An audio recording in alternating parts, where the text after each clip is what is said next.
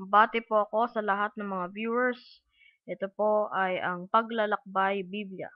Ito po ay isang Biblia na para sa mga OFW at gumagamit po ito ng teksto ng Magandang Balita Biblia 2005 at naglalaman ng mga kwento ng uh, mga OFW ay lamang po.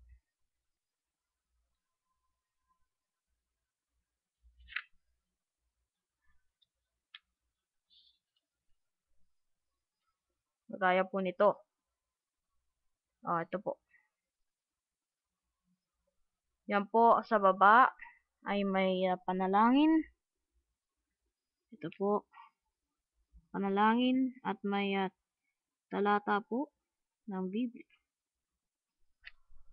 na uh, ka-related po ng kwento. Maraming salamat po at mag-subscribe po kayo sa aking channel.